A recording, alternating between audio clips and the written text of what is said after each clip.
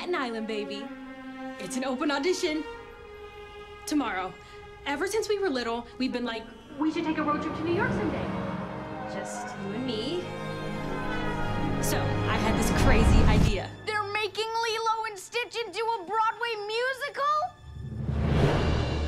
Wow.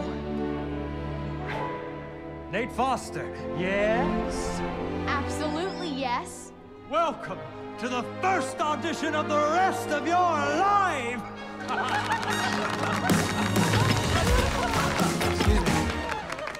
You really think you're gonna drive to New York in a cab?